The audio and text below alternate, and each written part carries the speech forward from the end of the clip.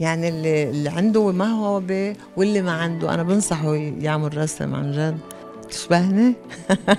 من الحبيبين الرقص يعني. نوال يعني اليوم من خلال تواجدنا عندك بالبيت. شفنا هيك شيء مميز. الصورة لإلك قلت لك مين رسم لك إياها قلتي لي أنا. فالعدد كتير كبير من الأشخاص ما بيعرفوا إنه نوال كامل غير تميزها بالتمثيل. كمان اليوم رسامة. إيه هي صارت بكورونا أول كورونا أول الحجر إذا بدك. آه إنه قاعدين بالبيت وهيك وعم بحضر يوتيوب وشفت بانتر عم بيرسم وهيك فحبيت عشقت يعني. وكان عندي الأدوات إنه أخي كمان بيكتب ايقون وهيك فقلت بدي جرب وجربت وبعدني لهلأ يعني عملت كتير لوحات وبعدني عم برسم لهلأ. تشبهني؟ هل يعني أخذت الخطوة ترسمي حدا تاني بورتريه تاني غير أنت؟ لا أنا قدمت gift ات تابلويات من عندي بس مش مش بورتريات يعني. لا قدمت رسمات أنا عملتها. عرفتي؟ abstract وهيك. فلا بعد ما خطر ببالي كنت يعني ما بدك توثقي من حالك إنك أنت صرت منيحة. إذا بدك تعملي شي بورتريه تكوني على قدها يعني لأنه البورتريه منه هين.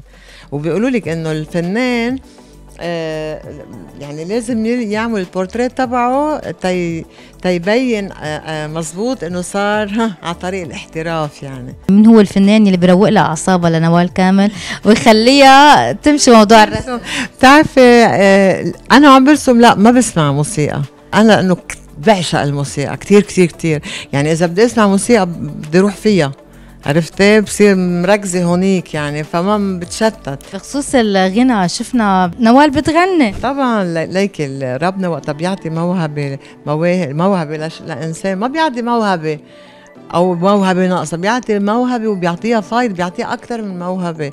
بس الإنسان هو بده يكتشف شو عنده مواهب ويستغلهم يستثمرهم يعني يشتغل عليهم. بما أنه صوتك حلو اليوم إذا انعمل برنامج المواهب للأشخاص يلي فوق الأربعين هل معقوله نوال تاخذ هيك خطوة وتشارك ببرنامج المواهب؟ ما بعتقد يعني أنا لأنه صوتي بتعرفي أول شيء العمر بيأثر على الصوت والحكي كتير بيأثر على الصوت وهيك. سو أنا صوتي تغير شوي عرفتي؟ ف ما بعرف يعني ما بسترجي أقول لك إيه. إلا إذا حدا يمكن سمعني وقال لي لا إنه مع شوية تمرين بترجع بيرجعوا الأوتار بيشتغلوا بيفتحوا. I don't know. مين أكتر فنان بتحبي تغني؟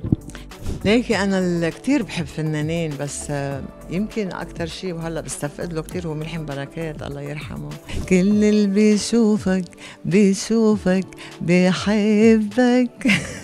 بحب ملحم زين مثلا بس أكيد ما رح غني له لملحم بحب وائل كفوري.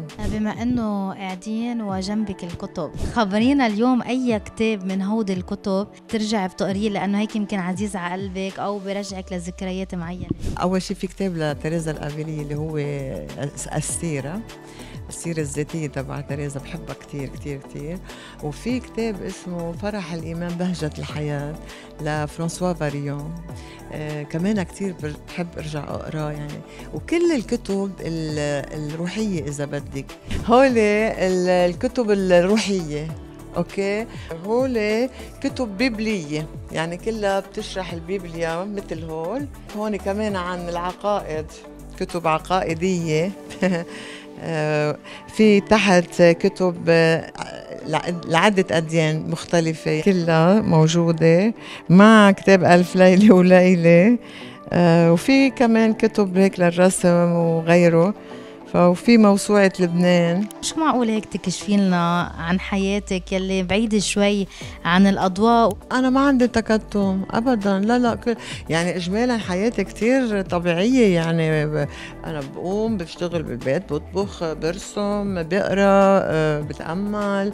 هيدي إذا كنت بالبيت يعني وإذا كنت بالشغل مثل كل العالم. بروح على على شغلي على التصوير كان مسرح تلفزيون شو ما كان. إذا صار في يمكن روح أحضر مسرح أحضر سينما افتتاحات آه يعني بسهر عندي أصحاب من الحبيبين الرقص يعني آه فهيك عادي لا عايشة حياتي كتير طبيعية عايشة أنا وخيي بالبيت تجوزت مرة بحياتي. والله يرحمه توفى وانفصلت بكير يعني ما ما, ما عشت فترة أنا وياه